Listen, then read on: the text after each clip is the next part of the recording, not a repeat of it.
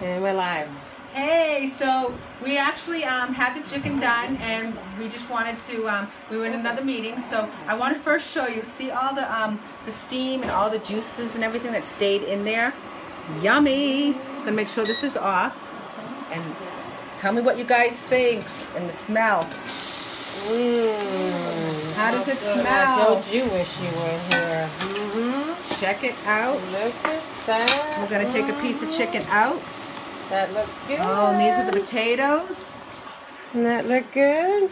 All right. I'll take a picture and We'll send take- it to you. We'll take one picture, piece of chicken out. It's all cooked. Look at that.